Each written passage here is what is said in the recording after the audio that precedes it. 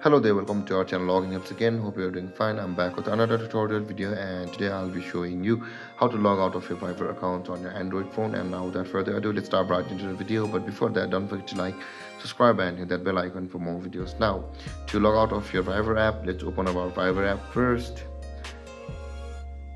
And now after opening the Viber app you can see the three lined icon on the bottom right corner of your screen. Tap on the three lined icon and over here you can see the settings option available over here. Tap on settings. And on this interface you can see the general option available at the bottom of the options. Tap on general.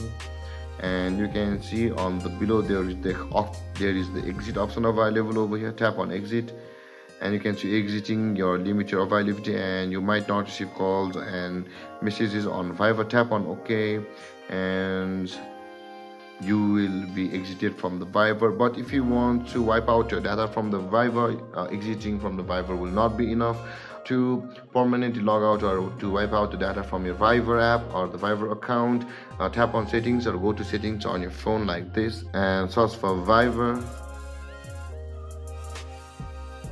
and you can see the Viber app info tap on Viber and here's the Viber now on this page you can see the storage option available over here just below the battery tap on storage and you can see the clear data option available at the bottom left corner of your screen. If you tap on clear data of the Viber your entire information from the Viber app on the Android phone you are applying the process on the Android phone you're applying the process will be wiped out and you'll be locked out permanently from the Viber on this Android device.